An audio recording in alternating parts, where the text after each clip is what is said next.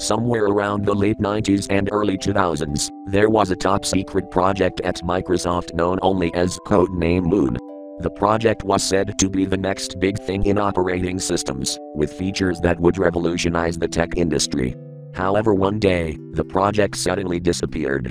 No one knew what had happened to it, and it became one of the biggest mysteries in the tech world.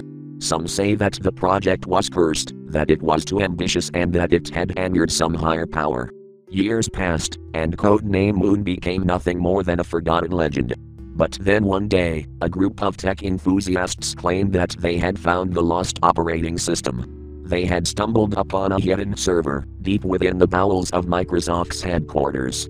Excited to see the long lost project, the group quickly downloaded and installed Codename Moon onto their computers. But as soon as they did, strange things began to happen.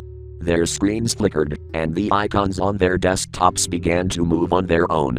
Files that they had never seen before appeared on their hard drives, and their computers would randomly shut down and restart. They soon realized that the lost operating system was not what it seemed. As they dug deeper into the files, they discovered a dark secret. Codename Moon was not an operating system at all, but a gateway to a sinister realm beyond our world. The project had been abandoned because it had been deemed too dangerous, but someone had tried to bring it back to life. The tech enthusiasts soon realized that they had made a grave mistake. By installing Codename Moon, they had opened a portal to this other realm, and now, it was slowly seeping into our world. They tried to remove the operating system, but it was too late. As they watched in horror, their screens turned black, and a single message appeared in bright green letters Welcome to the other side. And then, their computers burst into flames, leaving behind nothing but ashes.